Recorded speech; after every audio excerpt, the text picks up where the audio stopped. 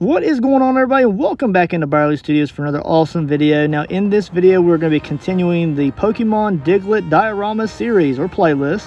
Whatever you want to call it, this is another video in that playlist and I'm excited to be able to pull out the airbrush, uh, some acrylics and a little bit of dirt and we're going to go ahead and detail this uh, more so mole variant of Diglett. Uh, as you've seen in the previous videos, we've already created him in a cartoon version a realistic worm version as well as this mole version. So we're kind of just cascading into all sorts of different little variants of Diglett. And I'm super excited to be able to produce this one. Now, as you can see here, we got this completely sculpted out here. It is fully baked with Sculpey original clay over a, a, um, a 20 ounce uh, modern curve tumbler. I also have magnets attached to the lid. Now this is more so of a trophy as you can see, but it's still very fun to kind of create it so that you can actually drink out of it if you chose to. Uh, mostly this is going to be a trophy that kind of sits on my shelf and then maybe one day I'll either sell it or give it away as kind of a giveaway on my YouTube or TikTok channels. Uh, so that may come along uh, down the road, maybe if I'm trying to clear up some uh, shelf space or, and make room for other projects.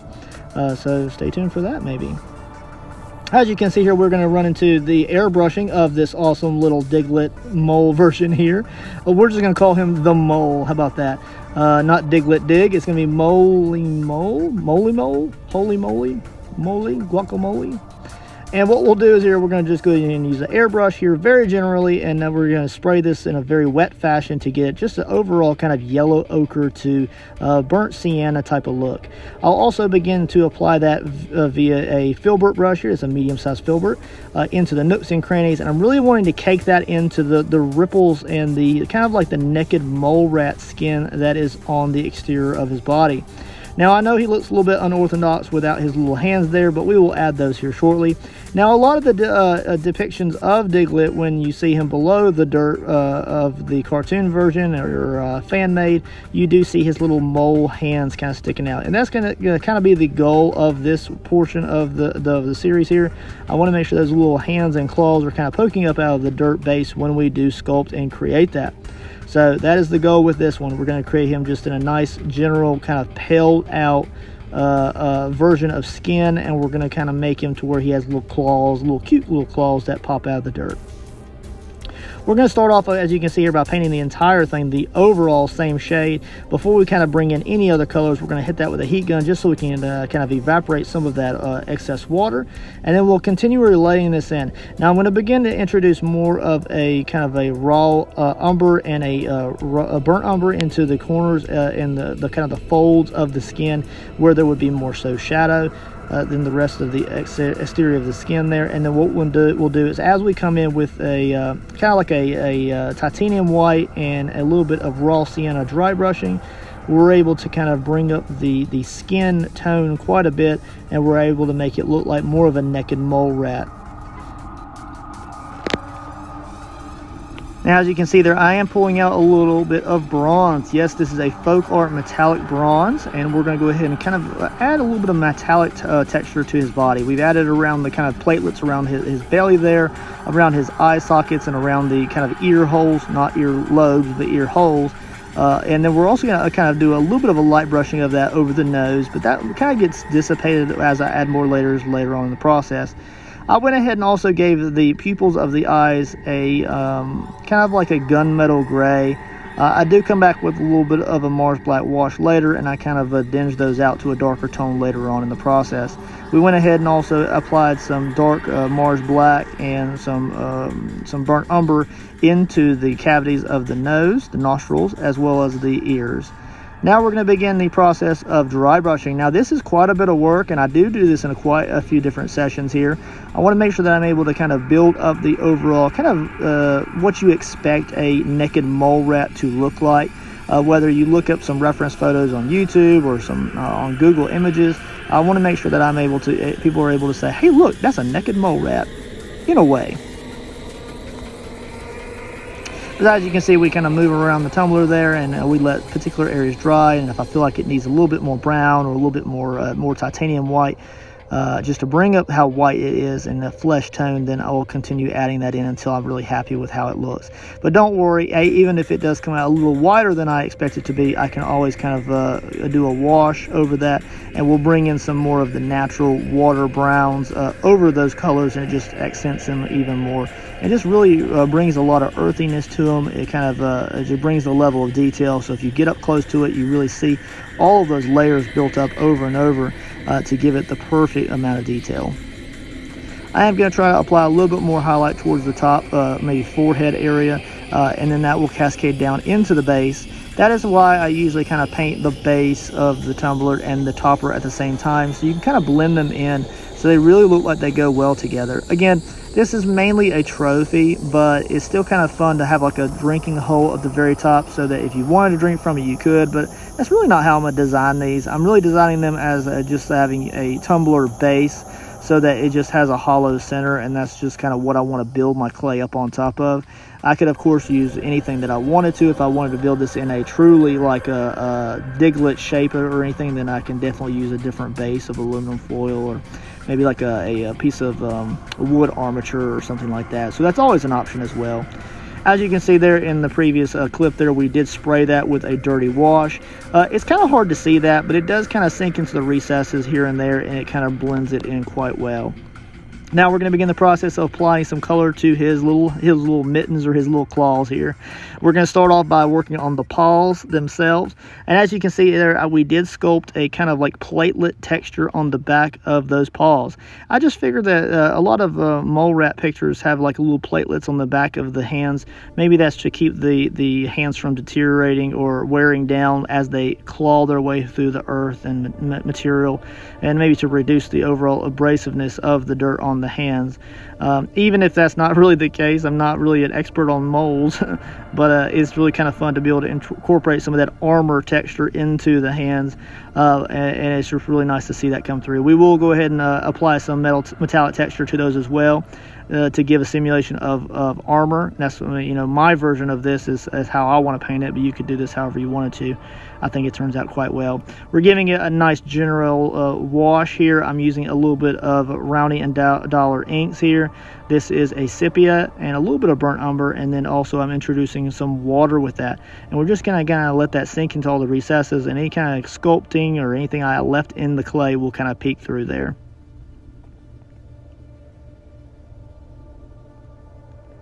And I'll continue building up that between the uh, the fingers there. Uh, that way, when I do get the claws put in, they just really have a nice defined shadow there.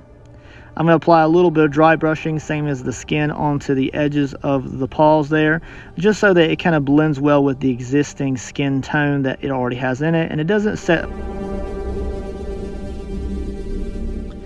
So as we continue to build up that dry brushing there, I really do think it brings a lot of life to it. And I think that if you can kind of blend the, the, the perfect amount of wash as well as dry brushing, it really does uh, bring a level of complexity and, and life to the projects that you make. Uh, if anything you take from my channel uh, here on YouTube or if you're watching a highlight clip on uh, TikTok, make sure you, you understand that that if you understand the washes and the dry brushing on detail work like this, it really does um, increase the overall quality of your work, but also it makes life a lot easier as far as bringing out details. You don't have to work as hard to make things look good. We're bringing in that same bronze uh, uh, uh, folk art paint there, and we're going to apply that to the armor texture. And I apply it to two little uh, sculpted bands at the back of the wrist there, but those kind of get blended in uh, to the existing ripple and fold of the uh, the mole skin on the front of the body. you'll see here in a few moments. I know that's kind of hard to explain there uh, but they do kind of blend in quite well and they kind of disappear into that fold of skin, but it's still good to paint them regardless, even uh, if they're not super visible.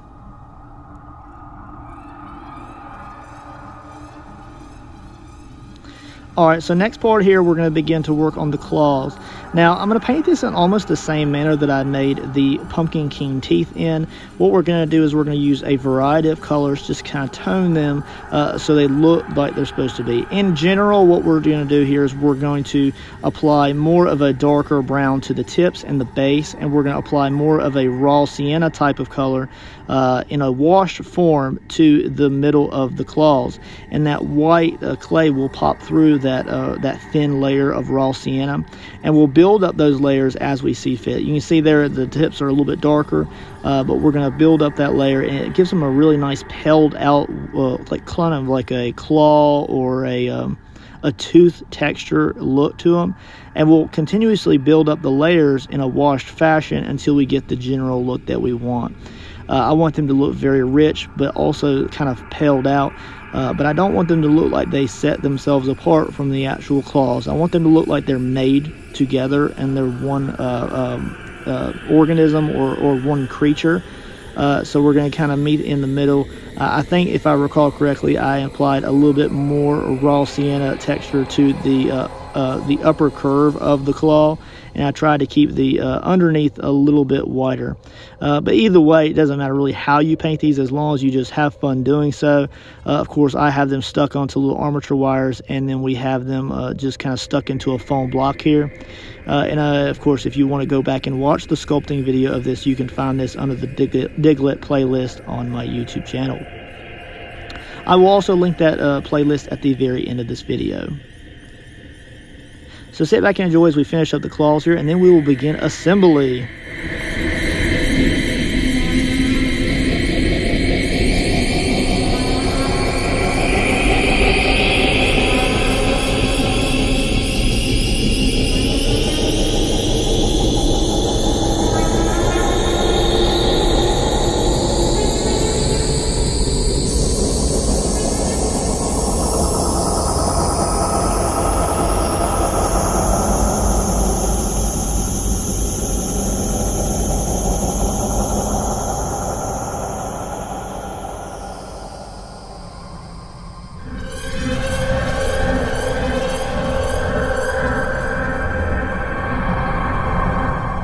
All right, so we're gonna go ahead and give this a little while to dry here. I think I gave it around 24 hours in total just because I didn't want to, I didn't pick up the project again.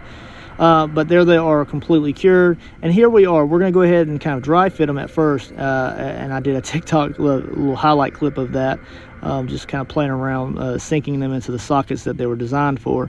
Uh, and then what we're going to do is we're going to use just a little dab of E6000 clear to go ahead and apply those claws to the paws of the mole here. Uh, I kind of do some fitting here and there just because I couldn't remember which ones went to exactly which uh, socket. Uh, but as long as they kind of uh, fit well and they look good, I'm cool with it. Now you also notice that I'm not afraid to have a little bit of that glue kind of squeeze out of the socket there. The way that I like to think about that is, is adding a small layer of cuticle uh, or buildup around the socket where the claw is coming out and I can give that a light layer of wash and it kind of blends that that clear uh, uh, glue in with the existing claw. It looks really good uh, and it just almost looks like I sculpted them together as one piece when it's all painted up and, and set up. And here we are, they are completely set up there, and I think they look really good overall. I really do enjoy the overall process it takes to make these and put them together, and I, I look forward to making these for more projects in the future as they come up.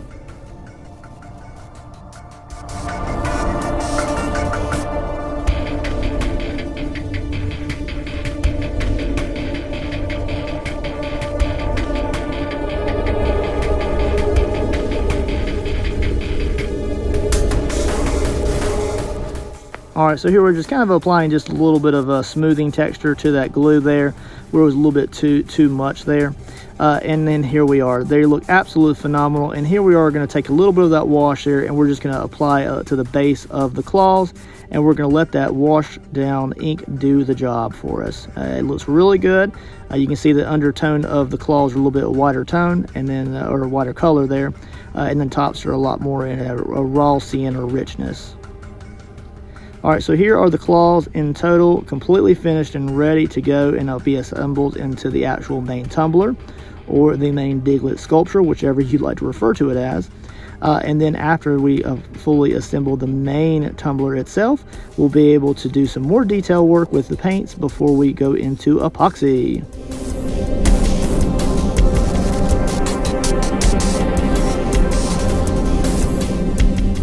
All right, so here we are. We're gonna go ahead and begin the process of applying a little bit of dirt texture to it. I remember I said that I was gonna put dirt texture on this uh. Yes, we're going to. We've used dirt almost in all of them, uh, and I'm excited to be able to use them again in this one.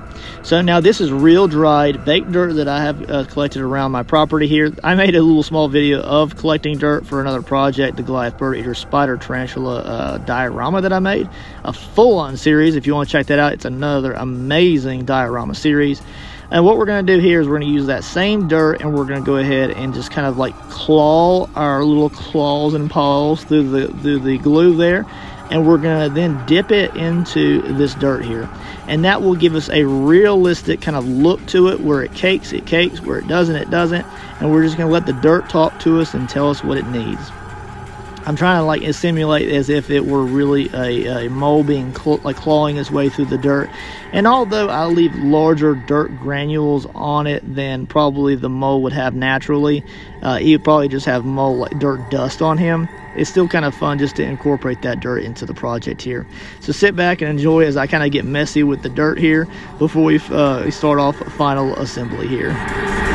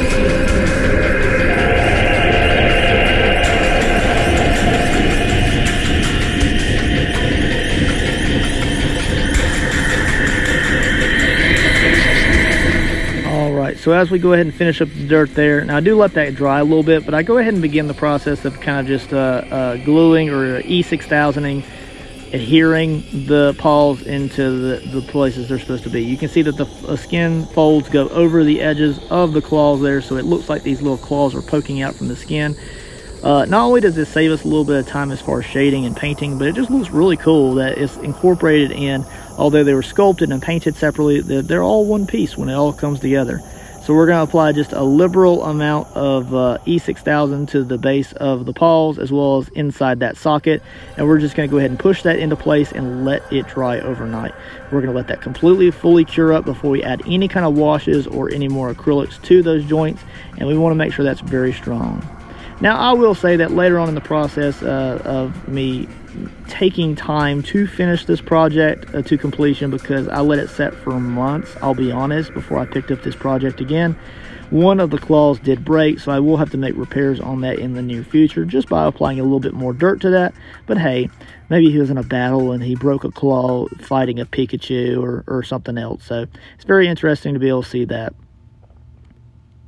And you will see that in the epoxy process. You'll see it in its final form when I do the glamour shots at the very end of this video. We are getting very close. As you can see here, this is what it looks like before it is uh, UV resin with a nice layer of clear. Uh, and you can see how amazing it looks. The bronze looks really good as far as the face, the belly, the arms, uh, the the armor of the arms, and the uh, the ear sockets there. It looks phenomenal. I'm really happy with how it turned out. And here you can see its final form completely clear coated with UV resin. This thing turned out absolutely incredible and now the only thing it needs is a nice pile of dirt to relax in. And that will be the next portions of this video and the series is we're to roll into making different types of dirt bases out of clay, air dry clay, Sculpey original, different types of resin, flocking, and, and dirts uh, and we're going to make all sorts of different bases for all three of these Digletts.